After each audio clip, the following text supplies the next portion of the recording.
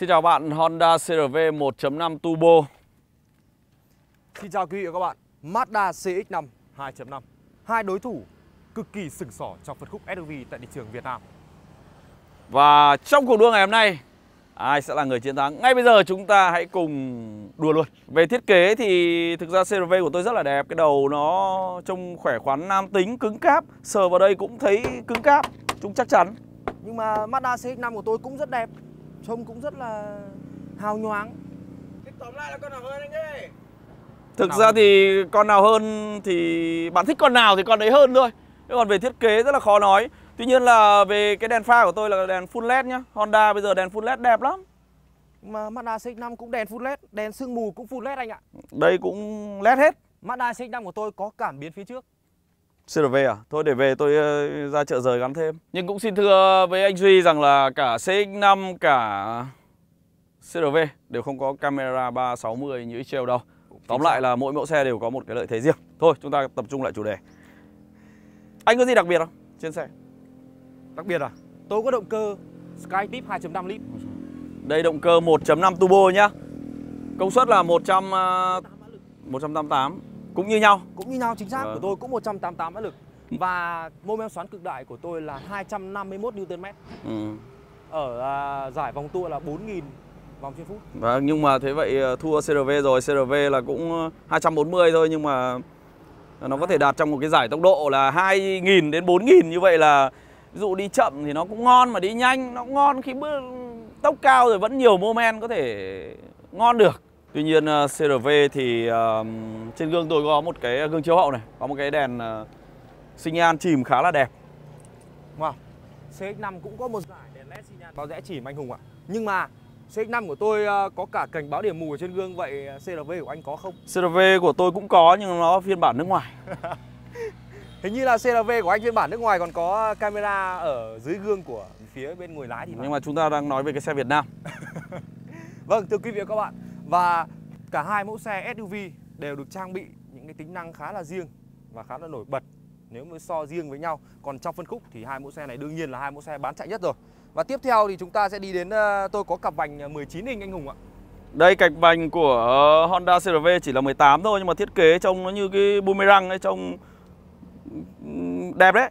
Trông đẹp. Lốp là lốp hàng hiệu Michelin này, Primacy này. Ờ, À, cái điểm này thì à, là, là CX-5 của tôi ờ, hơi thua một chút rồi Vâng. bởi vì là chiếc lốp của Mazda CX-5 là chỉ được trang bị lốp Toyo mà thôi Vâng, nói chung thưa các bạn là vành to thì trông nó hoành tráng thôi, chạy Đẹp. chứ chắc đã thích đâu. nhưng mà cái vấn đề thẩm mỹ nhìn ngoài vẫn đẹp hơn anh Hùng ạ tiếp theo là Mazda CX-5 của tôi có màn hình head-up display ở trên kính lái Của tôi cũng có nhưng mà nó ở phiên bản nước ngoài.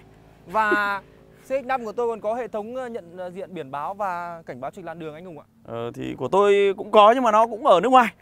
Thì thực ra cái đấy thì tôi hơi gato đấy và nói chung là xe cỏ thì đều cứ phải là mở bằng cơm mở và trống thôi. Đó như các bạn đã thấy thì uh, đều ờ, xe CRV của tôi có cái tấm uh, chống ồn nhá. Và cách nhiệt chống ồn động cơ Earth Dream này VTEC Turbo vâng, 1.5 nhưng mà công suất sức mạnh rất là tốt nhưng lại cũng rất tiết kiệm nhiên liệu. Thật ra nếu mà nói anh Hùng nói về cái vấn đề tiết kiệm nhiên liệu thì chắc quý vị và các bạn cũng quá biết rằng là động cơ Skyactiv của Mazda gần đây được đánh giá là một trong những cái động cơ khá tiết kiệm nhiên liệu. Và đây là động cơ 2.5 lít thưa quý vị và các bạn. Và xung quanh khoang máy cũng được đều được bố trí những cái tấm cách âm cũng như là giảm tiếng ồn giúp cho xe vận hành êm ái hơn. Vâng, ờ, xe lanh quanh 1 tỷ thì mấy cái này nó cũng tương đối là giống nhau thôi Thưa quý vị và các bạn, quý vị và các bạn có thể thấy chiếc xe của tôi Mazda CX-5 trông phần thân xe nó có trưởng không ạ? Còn sao? Anh Hùng, anh Hùng thấy ờ, chiếc xe của anh nào? Tôi trông nó cứ ngắn ngắn sao ấy. ngắn là ngắn nào xe của ông nào thì, thì khen của ông đấy chứ hàng của ông nào thì khen của hàng ông đấy chứ Ông nhưng mà CX-5 của tôi trông nó dài nó chứa hẳn. đúng nhưng mà thực ra nó hơi nhiều nhựa của tôi này chrome nó chạy như này trông đường nét nó sắc sảo hơn nhiều của tôi có chrome ở ờ, viền dưới cửa kính như này này, mà này còn có cả giá nóc nhé. nhưng mà cửa sổ như cửa cửa sổ trời như cái cửa chung cư thế kìa Không nhưng mà Đây. giá nóc này. Cửa sổ panorama này biệt thự đây đấy ra nóc này ra lắp thêm À, nhưng mà CX-5 của tôi là cửa đi ra khỏi xe tự khóa mà lại có cả nút bấm ờ, ở trên cánh cửa nhá. Ừ, thời đại nút bấm qua rồi CRV cảm biến này đặt ngon lắm đi ra khỏi nó vẫn tự khóa Thực ra thì trang bị các cái dòng xe như này có thể nói là ờ, tương đối là cạnh tranh ấy. Có khi là có cái sự hợp tác nào ấy nhỉ? Khả năng là thế mà CX-5 của tôi là đằng sau là có cánh gió này, có cả ờ, phần ốp nhựa đen là trụ C trông thể thao hơn hẳn đấy này. CRV này cũng có cánh gió. Nói chung là ờ, do nó có nhiều cái đường nét ví dụ chrome nó chạy từ đây này, à, từ trước này, sau à giữa này. Ờ, gầm về gầm ờ, về độ cao của gầm CRV thì ờ, nó khoảng 198. Đấy, nhắc đến cái điểm độ cao của gầm thì là chiếc CX-5 của tôi là thông số là hơn anh Hùng ạ. 200 mm. Ui giời, hơn hẳn 2 mm các bạn ạ. Tí thì bơm lốp căng lên tí thôi cao hơn ngay. Không, vẫn phải là CX-5, Mazda CX-5. Các bạn à, các bạn à, hãy à, vui lòng đưa ra những cái bình chọn của mình ngay bên dưới clip nhé. Các bạn chọn xe nào vui lòng comment comment comment thật nhiều vào. Các bạn à, bây giờ thì chúng tôi sẽ mở cái cửa này xem cái độ ra vào của nó như nào, độ mở như nào nha các bạn. Đó. Úi giời. Mazda CX-5 cửa mở rộng lắm anh Hùng ạ. CRV cũng vậy. Úi dồi ôi. Các bạn à, CRV của tôi nó cứ phập. Ờ, nghe kia thấy phành. Thử. Ông đập này. dày lắm anh ơi. Đấy, nghe chắc là bây giờ tôi sang tôi thử. Thử thử. đừng, đừng, đừng. Ui rồi nghe nó phành phành, nghe cực rõ luôn. Thưa bạn, ờ, cái phần đó thì chút nữa thì nó sẽ chứng minh qua phần chạy xem con nào chắc chắn hơn thôi. Rất nhanh thôi. Nghe tiếng là có thể đoán hình được rồi. Và thưa bạn, ờ, các bạn có thể thấy là cái đuôi CRV trông nó nhìn nó yêu thương không ạ Trông còn như CX-5 ấy, trông nó cái tròn đúng ủng nhỉ Không, tròn này mới đẹp anh ạ. Bây giờ thiết kế bây giờ nó phải thế này. Đấy anh phải nhìn đấy, đèn hậu của tôi này. Đấy. Thôi mấy cái bên ngoài trang bị nó xem xem nhau thôi anh ạ. Bây giờ là cứ phải đi vào bên trong xem không gian như nào này, cốp điện. Cởi, cởi nó ra Cởi ra Cởi ra nhìn thấy hết luôn đây này, anh này. Đây, anh thấy ấy. Cốp của tôi rộng như này mà. Đây cốt 5 cộng 2 này riêng số ghế là hơn rồi Nhưng mà 5 cộng 2 của anh anh mua xe một thời gian anh chạy mà anh đã thèm bóc ni lông hàng ghế thứ ba đâu. Vâng thì 5 cộng 2 thì một năm dùng hai lần đủ rồi Đấy gọi là 5 cộng 2 Như quý vị các bạn để thấy thì là hàng ghế thứ hai của tôi chỉ cần qua một cái lẫy ở đây kéo một cái là sàn phẳng đét luôn. Anh Hùng, anh Hùng thấy sao về cái cốp của mình anh Hùng? Thì cốt của tôi cũng phẳng Nó hơi bị lồi một tí thôi Không, lồi nhiều đấy quý vị các bạn ạ. Muốn phẳng trong vòng nốt nhạc nó phẳng luôn Đấy. Thực ra nỉ thì hai con này nó cũng nỉ như nhau. Tương đối, tương đối giống nhau. Nỉ với nhựa thì có thể nói là nhìn ờ, Đúng là nỉ với nhựa như nhau. Khi tôi bước vào trên CRV này Cửa nó vuông đét này. Đấy, Anh Duy có thể thấy nhá Các bạn có thể thấy này Khoảng trống này Sàn phẳng này. C5 không lại được nhá Hàng ghế này Điều chỉnh này Lên xuống này. Đấy, Cân bằng các nhóm lợi ích với nhau này Nhóm thứ ba kiểu Ờ, Đó Đấy chưa? Cửa gió điều hòa CX5 cũng có. Cửa gió sau, Nhưng lại không có hai cái khe cắm này đâu. USB 2.5A này. Và anh nhìn lên cửa sổ trời này. Trông nó sang trọng hùng dũng thế. Độ ngả lưng của ờ, Độ ngả của cái tấm đệm lưng này cũng điều chỉnh được. CX-5 của anh chắc cũng không có đâu. Đúng không ạ? Tựa đầu thì, Tôi nghĩ là riêng về hàng ghế sau thì CX-5 thua đứt rồi Nó thắng duy nhất thì cái bệ tỉ tay này Trông nó hoành tráng hơn tí thôi. CRV này, nước này, để miên man này, cao thấp các kiểu đầy đủ hết. 4 năm chai thoải mái. Út.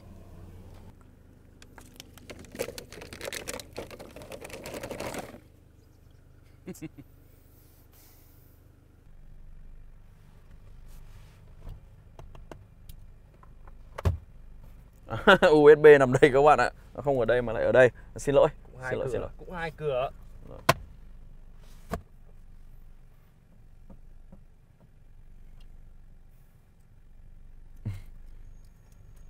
Các bạn là ra thực ra ra hai xe này thì cũng là tương đối là như nhau nói chung là trăm năm kiểu gì cũng hỏng và thực ra cái nệm ghế của của cái nệm ấy, cái nệm đỡ chân ấy, của CX5 này bị ngắn hơn Đúng rồi. ngắn hơn Như anh Hùng và quý vị và các bạn có thể thấy là cái bảng táp lô của tôi là ở trên này được bọc nhựa mềm này. ở đây còn bọc da đấy. Bọc da. CRV thì nó cũng xem xem như thế cũng có tí gỗ ờ, giả gỗ ở đây cũng có nẹp chrome vân vân À, nhưng mà xe này có ờ, trang bị màn hình cảm ứng 7 inch. màn hình của tôi cũng 7 inch tôi thử xem cái tốc độ tốc độ xử lý thế nào nó cũng tương đối là như nhau nhưng mà của tôi có kết nối Android Auto Apple CarPlay cơ đấy Và nhưng mà của tôi lại có đầu đĩa DVD anh Hùng ạ. Ừ, tôi cũng có Và tiếp theo thì ờ, chúng ta xuống đến cụm điều hòa. Và tôi có điều hòa hai vùng độc lập Ừ. và các mốt để điều khiển. Xe của tôi cũng thế, cũng hai cũng điều hòa hai vùng. Chỉ design khác nhau thôi còn bốc sang lắp lẫn có khi được. và chúng ta xuống tiếp với cả cái vùng ờ, cần số. Vùng cần số của tôi là hộp số 7 à, 6 cấp này và được trang bị tới hai chế độ lái anh Hùng ạ. Số của tôi cũng là tỷ cấp bởi vì nó vô cấp.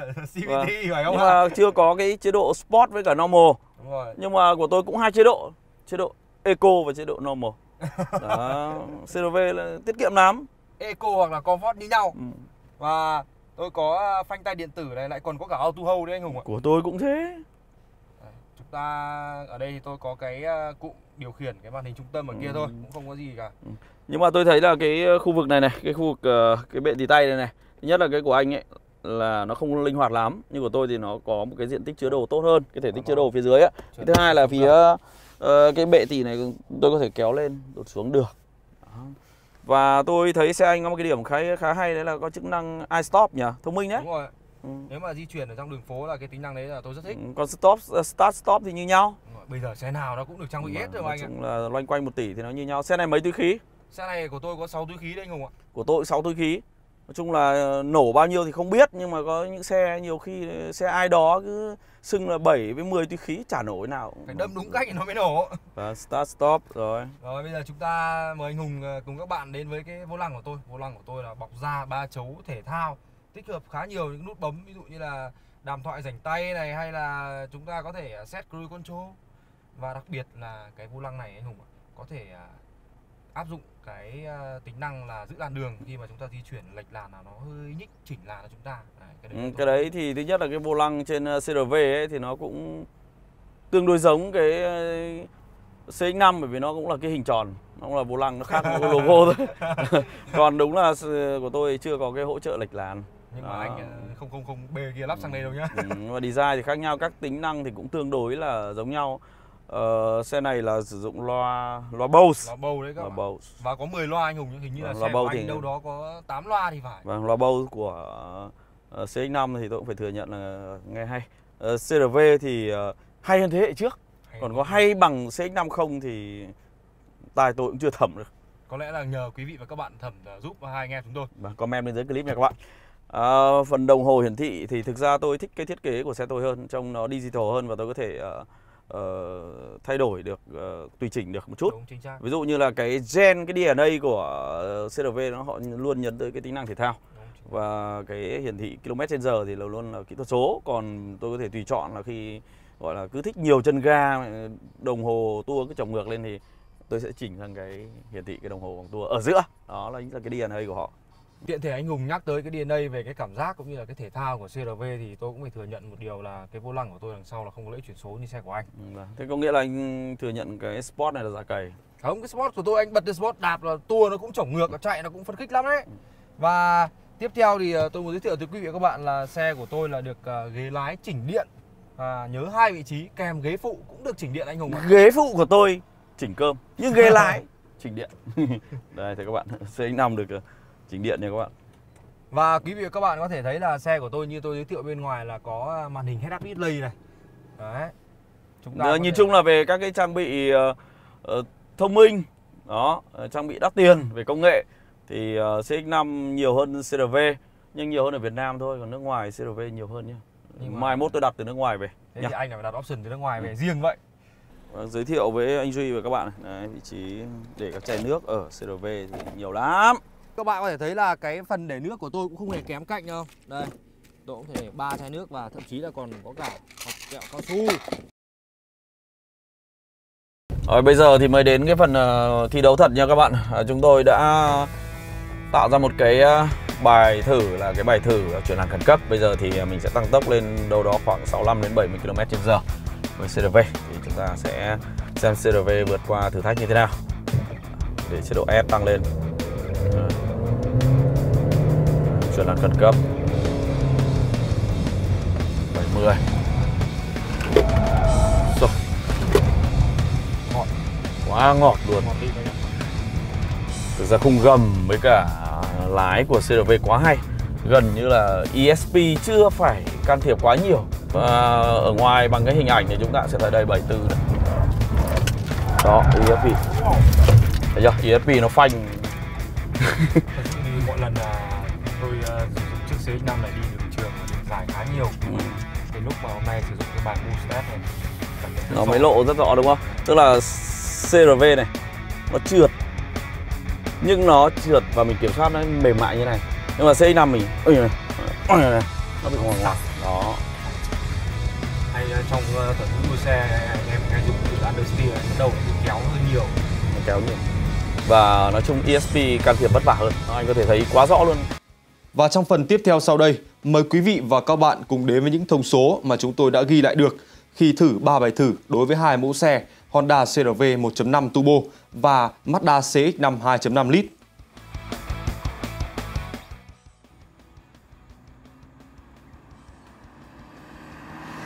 có nghĩa rằng là kết quả này nó phản ánh tương đối chính xác anh gì tức là cái động cơ của ờ, Mazda thì không cần turbo. Skytip đúng không? Đúng rồi 2.5 máy to khí tự nhiên. Tuy nhiên là ờ, cái nước đầu nó rất là tốt nó tốt hơn CRV này. CRV mất ờ, 4,6 giây. Còn ờ, CX5 chỉ 4,1 thôi.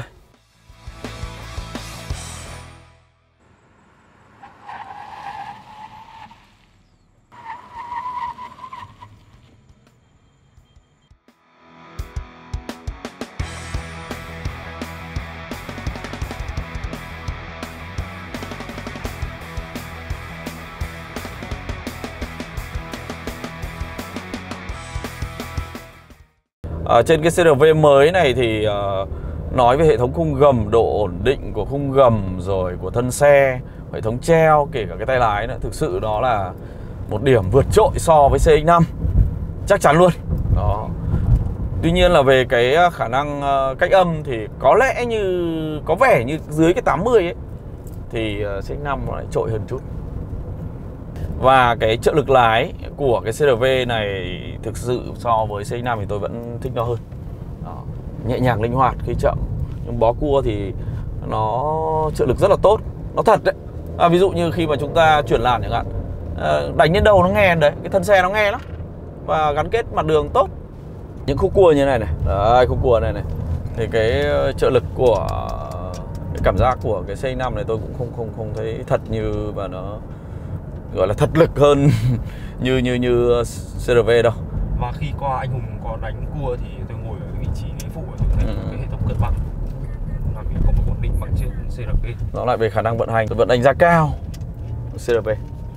À, tất nhiên là CRV nó có cái hộp số CVT nó tăng tốc khá là mượt À, nhưng mà nó cũng hơi ồn thôi, không sao cả. cái độ gào của Ừ. máy nó lớn hơn cái chiếc CX-5 này với cái động cơ khí tự nhiên và cái hộp số 6 cấp Vâng thưa các bạn, à, sau những cái bài thử ờ, khá nhanh nhưng mà có những cái kết quả tương đối khách quan thì nói chung là ờ, xin thưa với các bạn và cũng xin thưa với anh Duy rằng lựa chọn số 1 của tôi thì vẫn là CRV mà thôi. còn cá nhân tôi thì xin thưa với quý vị và các bạn xin thưa với anh hùng là tôi cũng vẫn chọn chiếc Mazda CX-5 bởi vì chiếc Mazda CX-5 đi trong phố rất êm ái và mượt mà Vâng, anh ấy thì thích thời trang, tôi thích thể thao. À, còn các bạn, nếu như các bạn có những cái sự lựa chọn như thế nào, có những đánh giá như thế nào về hai mẫu xe này, xin vui lòng hãy comment bên dưới clip nha các bạn. Hãy comment thật lòng và comment thật sâu, thật xa, thật hay giúp chúng tôi. Còn bây giờ thì cảm ơn sự theo dõi của bạn. Xin chào và hẹn gặp lại các bạn trong những chương trình tiếp theo. Bye bye.